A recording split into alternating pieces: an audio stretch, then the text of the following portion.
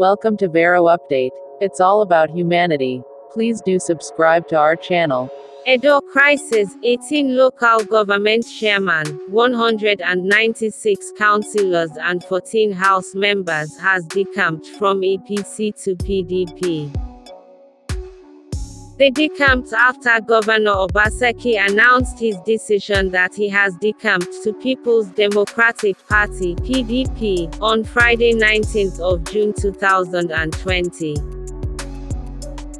The governor and his deputy Philip Shaibu announced their defection at the party secretariat in Edo State.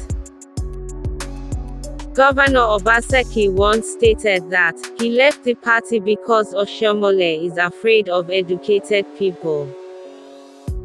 He said this while speaking with State House correspondents at the Presidential Villa, Abuja, where he also disclosed that he has resigned his membership of the party and will soon disclose the political platform on which he will be seeking re-election in the forthcoming governorship elections in Edo State.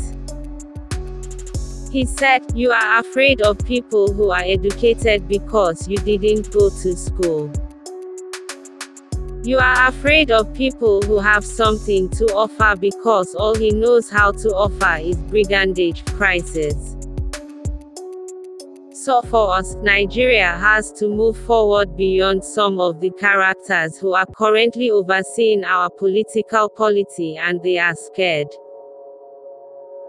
This was because he was disqualified from taking part in APC primary election as a result of his result qualifications.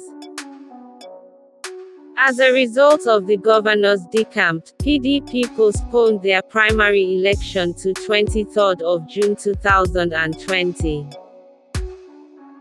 This was announced by the party National Publicity Secretary, Mr. Kola Ologbondiyan.